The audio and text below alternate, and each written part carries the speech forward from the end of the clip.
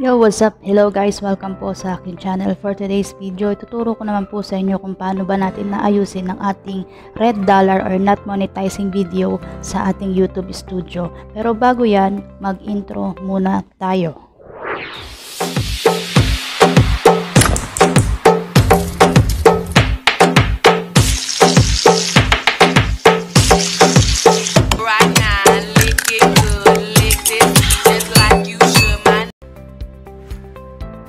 So, yun na nga mga ka-vlogs no. So, meron tayong mga video sometimes na na-upload sa ating uh, channel na nagkakaroon tayo ng red dollar or not monetizing video. So, sa video na to, ituturo ko sa inyo kung paano naman natin mariresolve yung mga ganitong case sa ating mga video.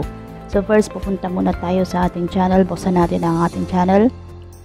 Ayan, and i-click po natin ang ating your channel and ang ating customized channel.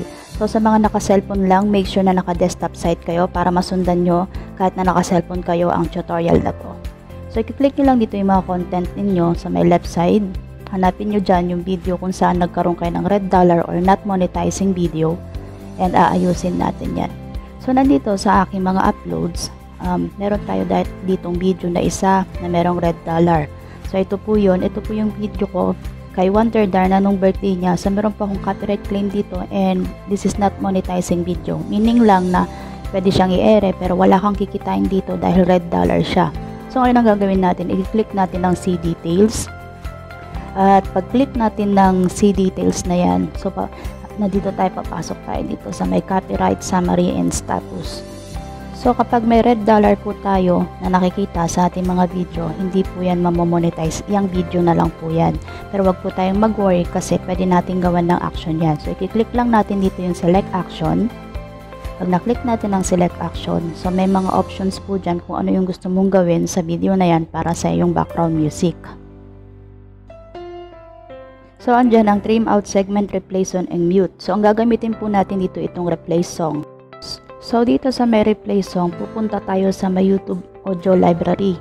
So, dito sa may audio library, meron mga free music dito na non-copyrighted or free mong gamitin. Mamili ka lang dyan. So, marami kang pagpipilian dyan. Is, siguro ang pipiliin mo lang yung babagay sa video mo. So, for example, ito, ayan, pwede mong piliin yan tapos saka mo i-add dito sa video na ito. At kapag nakapili ka na ng music background mo, ready to play song na yan, kaya isave mo na yan. And then, check natin kung ano yung next na mangyayari sa video mo.